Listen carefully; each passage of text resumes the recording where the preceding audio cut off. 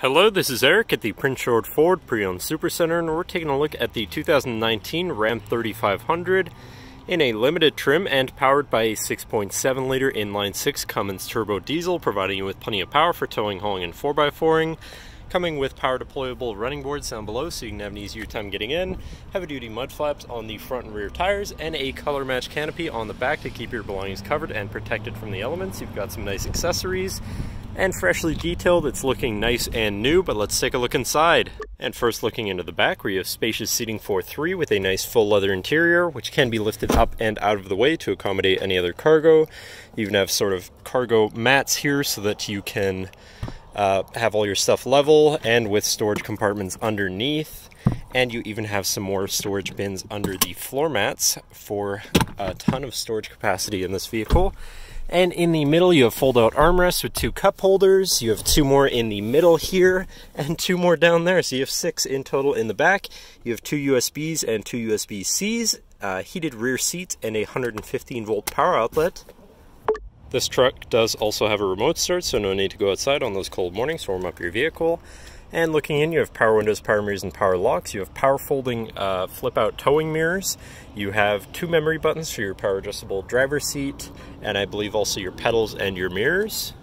And now sitting in the vehicle with it running, you can see it's sitting at uh, 25,251 kilometers. And moving down to the steering wheel, on the right hand side, you have your cruise controls with distance pacing technology, as well as your manual gear shift, so you can go up and down.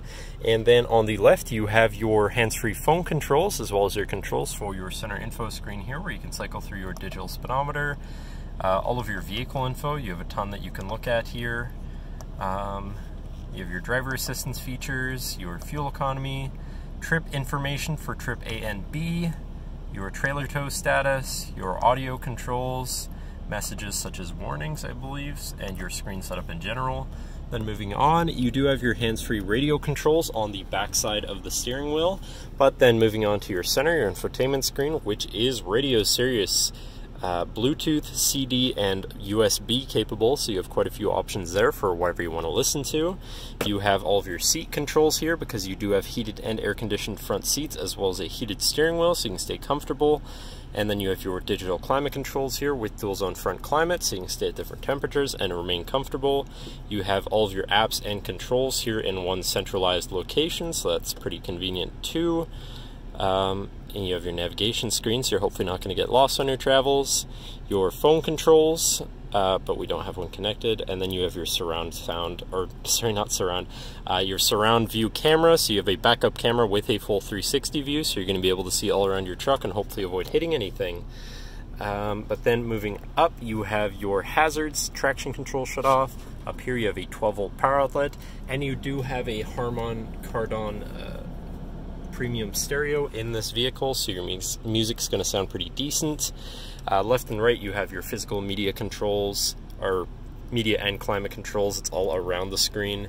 You have your trailer brake controller, your diesel exhaust brake, your tow haul mode, your front and rear park assist sensor shut off, you have your uh, CD player there, you have two USBs, two USB-Cs, and your auxiliary, so you can plug something into power charge or hook up your audio that way. To the left, you have your 4x4 controls, and then down here, you have your uh, two cup holders, your sort of little storage change bin here, and then this can be slid out of the way to uh, you know, access other stuff. Here you have a wireless charging pad. You just clip your phone into here and it will begin to charge. And then you have a 115 volt power outlet right there. Move this out of the way, and then you have your center compartment slash armrest with a USB in there, and then this flips up out of the way too for even more storage back here. So that's pretty neat. Then looking back, you have a power sliding rear window you want to just access your canopy quickly. And then last but not least, you do have a power moonroof up top. But that should cover our look at the interior. So now if you're interested, feel free to give us a call at 250-563-8111 or just come on down to the dealership and have a look for yourself and have a nice day.